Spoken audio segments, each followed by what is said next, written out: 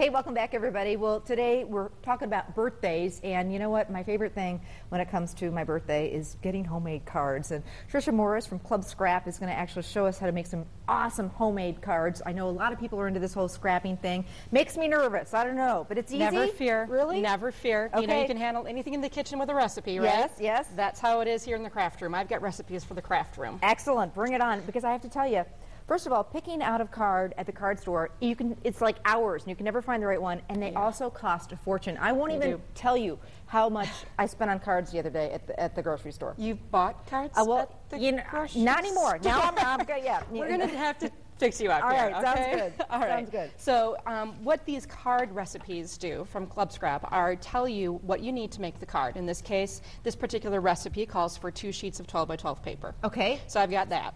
And then you have to trim them a certain way.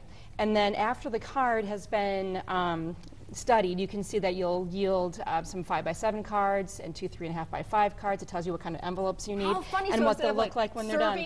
Instead of Yeah, servings, you know, eight portions, you'll get how many cards? I That's love. right. Okay, I think I It's could. I could do this. And so the cards aren't related to any specific occasion at all. They're just for anything. They're just templates. Okay. Now, how do you get from the two pieces of paper to the four cards? Well, you turn the card over, and there are your preparation instructions or your cutting instructions in this case. Excellent. So instead of chopping in the kitchen, you're chopping in the craft room. Okay, now this is one. If you're going to start seriously getting into it, I know these, It's a great these are trimmer. really great. Yeah, they're not that, that expensive, and they do a great job. Okay. All right, so I'm taking my two pieces of paper, cutting them at the same time because they both actually get cut the same way. So Okay. the first cut I make is going to be at seven inches. Now, all the instructions are worded so that you can easily follow along, and it's the best way to cut the paper. So the larger portion of the paper stays on the base of the trimmer, while the smaller portion falls off the end. Okay. Okay, it's a common mistake a lot of people make is doing it the other way around. Now I'm going to cut this piece at 10 inches. Now that's what the recipe calls for. All right, so this is going to give me two cards Okay. right here. Then this is going to give me an embellishment after I trim it, according to the directions, at five inches. All right, I've got two more cuts to make. Looks so I'll easy put so this far. in here. And it tells you to trim horizontally or vertically, so Okay. I'll trim this horizontally at 10 and 7. And then I'm done with the cutting. That's all there is to it. I love the fact that you didn't have to do the scissor thing because Oh, oh gosh. boy, Oh. that's why I gave up. You know, crafting. I could I never. hardly ever even yeah. use the scissors anymore. well, for other things anyway. Now, if you could just help me out here. Sure. These need to be folded into cards. Okay. Okay. So if you just want to take those and just And they're fold gonna go them- right in half? Yeah, just fold them in half. Okay, you trust me with that? I do. I trust you. Even though you buy your cards at the store. like I say, I spent so much money. I, I may not be doing it. Now, does it matter if pattern or nope, you know? pattern doesn't matter, just Okay. any old way. Okay.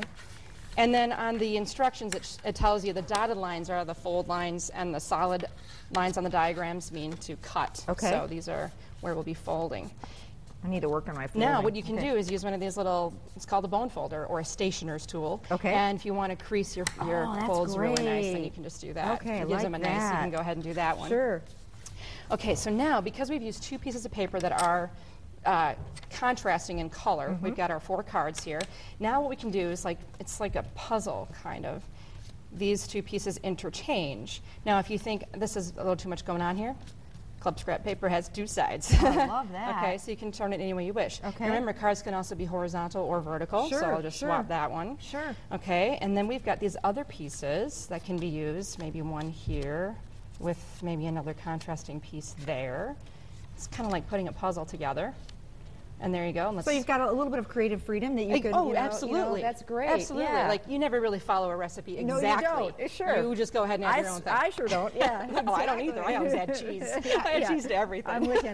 These are great. They so are. I mean, well, four now, cards. They don't really minutes. say anything yet, though. Right, but now you've got all these different things that you, you know, sayings. Exactly. Coordinating embellishments. We got stickers. You can add die cuts. You can add little, you know, found items. So you don't have to write write it out in marker. Oh, well, you could.